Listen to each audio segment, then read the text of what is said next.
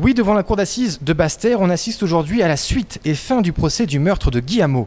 Alors, depuis le début de la semaine, les dossiers sont examinés en détail pour bien comprendre ce qui s'est déroulé le 18 juillet 2016. Guy Hameau, un commerçant de Marie-Galante, avait été retrouvé inanimé, gisant dans une mare de sang dans son épicerie à la suite d'une tentative de braquage. L'enquête détermine rapidement deux suspects, deux jeunes hommes, un principal accusé du nom de Ganja et et un complice, Daryl Bernard. Aujourd'hui, il s'agit surtout de déterminer les rôles, les responsabilités de chacun.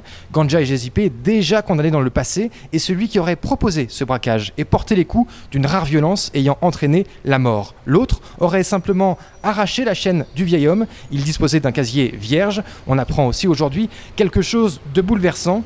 Hameau, la victime, aurait aidé indirectement son propre meurtrier quelques mois auparavant. C'est la nièce de Hameau et maire de Capestère de Marie-Galante qui me le confiait à l'instant. Le principal accusé, je lui ai accordé un TIG, travail d'intérêt général, ce que beaucoup de maires refusent de faire. Et moi, j'ai voulu l'aider en me disant que ça lui permettrait de se réinsérer dans la société.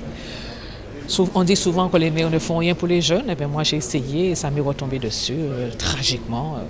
Et quand on m'a demandé de lui permettre d'effectuer son travail d'intérêt général, bon, moi, j'étais à ma troisième expérience. Les deux premières expériences se sont passées normalement. Là, j'ai hésité. C'est justement mon oncle, qui est Guillermo, qui m'a dit, mais non, rends-lui service, c'est un jeune, bon, tu vas l'aider. Et voilà, comme ça. Ça nous est retombé dessus. Et souvent, comme bien fait n'est jamais perdu, mais le bienfait que j'ai fait, il a été complètement perdu. Aujourd'hui, c'est aussi la dernière occasion de dresser le portrait des deux accusés pour tenter eh bien, de comprendre comment on devient assassin à 19 ans. On apprend que les deux ont vécu une enfance difficile.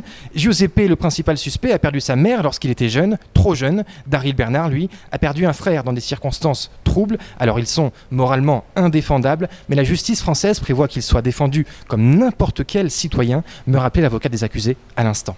Lorsque des faits sont reprochés à une personne, cette personne-là doit être mise en mesure euh, de se défendre. Et à ce titre-là, l'avocat est présenté dans notre code de déontologie comme un auxiliaire de justice.